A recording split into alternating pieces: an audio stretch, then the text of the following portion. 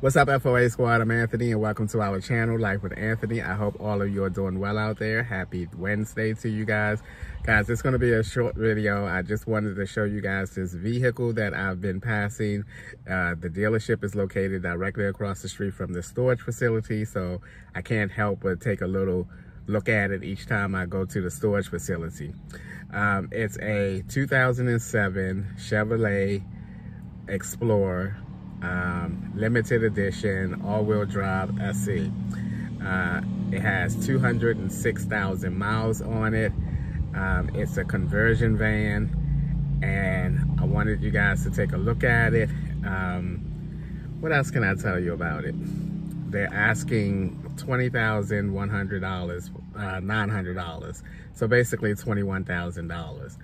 Now, I do have some concerns about it, but I think that I'm going to at least go in there and try to get a closer look at it and try to test drive it too as possible, if possible, um, because I think it would be a reasonable upgrade from what I have now. And here are my concerns about it. This dealership doesn't have a shop in it.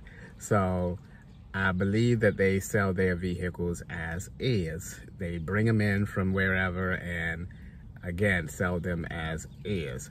So if I was to even remotely think seriously about purchasing this vehicle, I would have to take it to a shop first and get a full diagnostic on it to see whether or not, you know, everything is okay with it.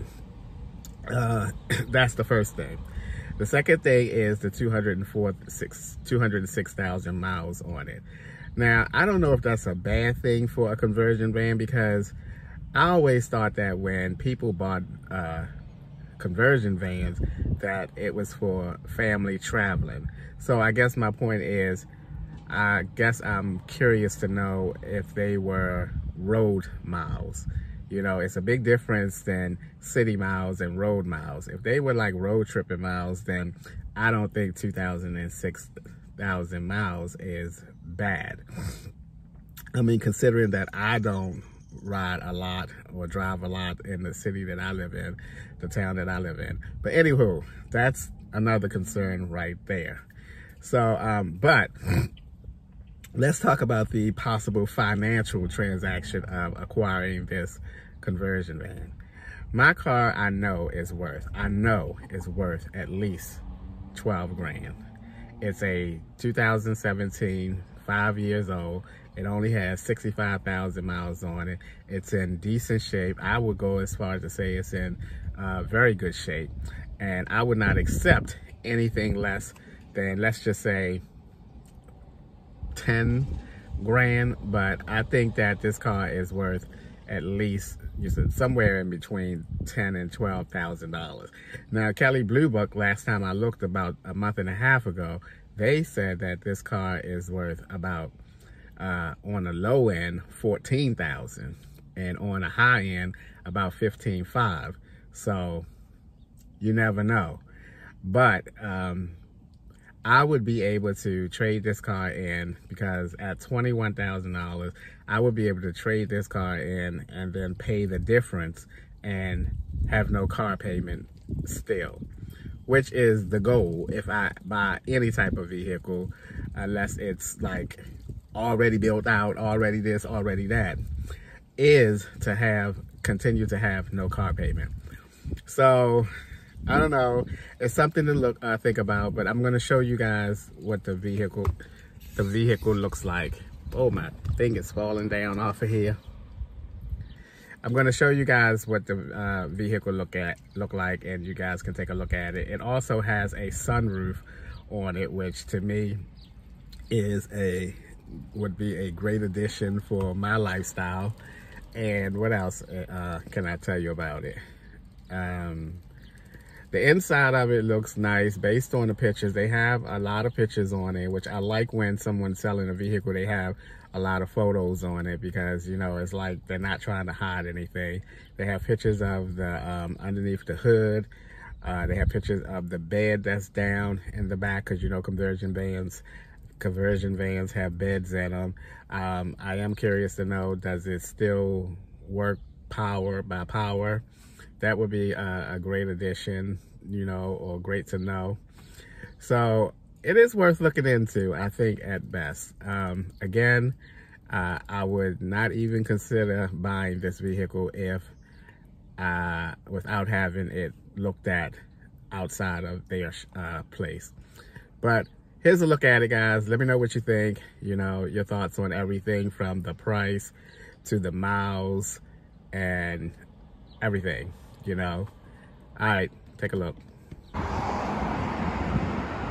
right, guys, this is the conversion van right here. Once again, it's a 2007 Chevrolet Explorer, um, all-wheel drive, uh, limited SE edition.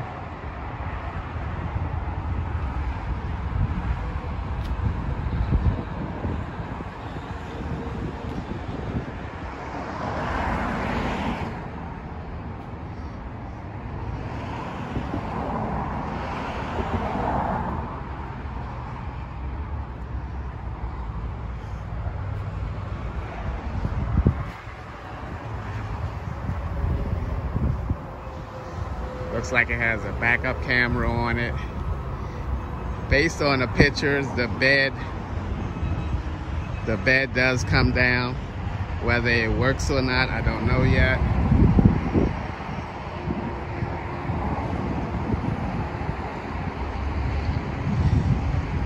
It looks like it has pretty good uh, body to it. They're asking 20,900.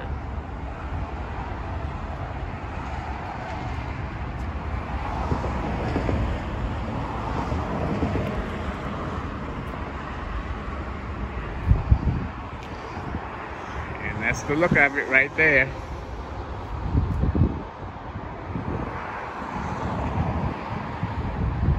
All right, guys, that was the conversion van. What do you think about it? I think the body of it is in pretty good shape. I didn't see any like rust or, or major uh, issues with the body of it, at least. Um, of course, I wasn't able to see the inside of it yet. Um, I would do that if I um, am interested in it and take a look at it and inside and do all those things, start it up, make sure the air work, the heat work, and all that kind of stuff. Um, so let me know what you thought. Uh, let me know what you guys think. Um, as always, thanks for taking a few minutes out of your day to watch my videos. I appreciate you guys. You know that. And I'll see you guys the next time.